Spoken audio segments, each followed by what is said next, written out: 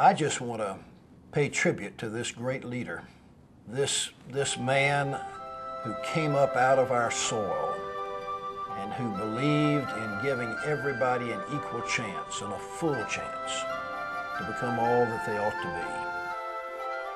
I can think of nobody who deserves this distinction more. East Carolina University is a special place to all of us, but to none so much as Senator Robert Morgan. I remember his days in the state senate.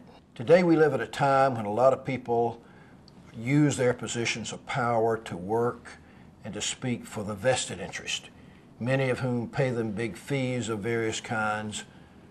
That wasn't Robert Morgan. Robert Morgan fought for the people, fought for the little people, fought for the average people, fought for the working people. And he did it in a powerful and very successful way.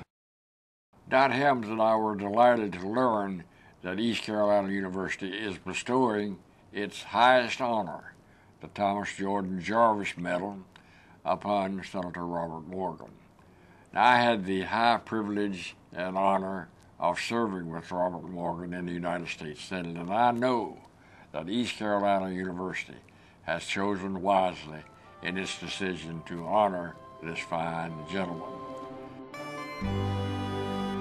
After attending East Carolina in his youth, Senator Morgan has played a crucial role in its remarkable history.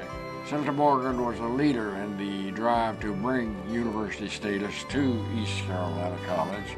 The development of a first-class medical school has been an enormously positive benefit for Eastern North Carolina.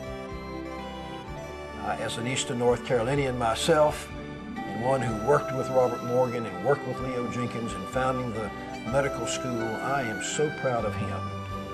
And I am so proud of the university for presenting their highest medal to this great son of the university, this great son of North Carolina, this great leader and advocate for our people.